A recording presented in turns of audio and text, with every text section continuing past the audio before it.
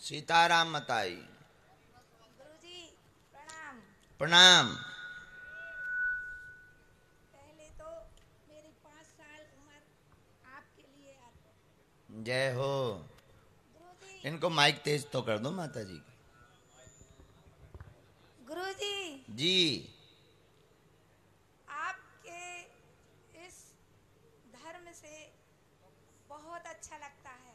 बोलना भी अच्छा लगता है और आपने जब से भी ये प्रचार किया है धर्म आगे बढ़ गया है। बालाजी की कृपा। अच्छा लगता है। आप लोगों का आशीर्वाद है मताई। और आपको कोई कुछ कहता है तो बहुत बुरा लगता है।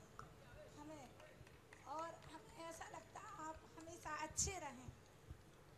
आपको कुछ भी ना हो। जय हो मताई। खूब कहाँ रहती मताई? कहाँ रह तो? माता जी खूब साधु बात। अगर कोई हमारे खिलाफ बोलता है बोलने दो बेचारा कर भी क्या सकता है? बोल ही सकता है। बाकी हमें अपने हनुमान जी पे भरोसा है कि एक दिन ऊकी भी ठटरी पर है। चलो, पुरुषों में। कहाँ है भाई, बांटो? जी, पीछे पहुँच गए, बहुत अच्छा है। गुरुजी जय बागेश्वर धाम। भैया भाई साहब जब तक तुम नहा चले आओ ऐसे बढ़ जाओ। जय बागेश्वर धाम। गुरुजी पढ़ाई लिखाई बहुत अच्छी चल रही है बच्चों की। हमें लगो आपकी। हमारी भी चल रही है। हम भी निरंतर पढ़ाई करते रहते हैं। वाह। लेकिन क्या है आजकल नैतिक शिक्षा जो विषय है लगभग लगभग ना के बराबर हो गया मतलब नगण्य है।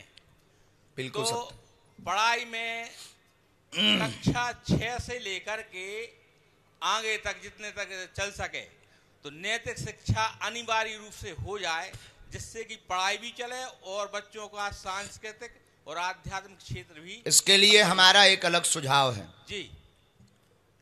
वर्ष तीन वर्ष की आयु से बेटा अथवा बेटी को घर पर ही नैतिक शिक्षा देने की जिम्मेवारी माता पिता को ले लेनी चाहिए।